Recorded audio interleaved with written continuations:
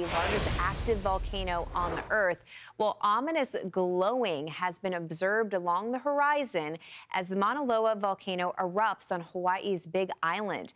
Now, the volcano's lava is currently contained, but the question is what will happen if it does flow downhill? National Weather Service senior forecaster Jon Jelsema joins us now from Honolulu.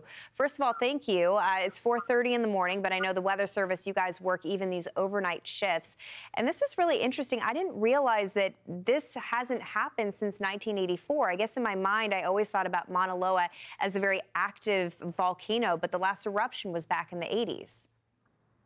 Yeah, that's correct. We have had other eruptions in the Kilauea caldera, but this is the first time in the last 38 years that the Mauna Loa summit has erupted. And talk a little bit about the geography and the terminology that you're using. Now, a lot of this lava is contained within almost like a cauldron like feature, but how do we get from that step to actually having lava flows that we're concerned about people's safety and structures?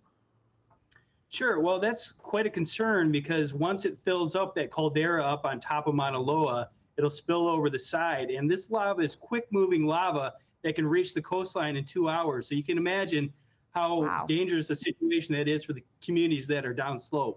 Absolutely. I mean, two hours, that's not a lot of time. So, for people that are there, either visiting or they happen to be residents of the Big Island, what is the, the feel? I mean, how do you even approach this scenario that you know that if it tops over, you only have two hours to get out of the way?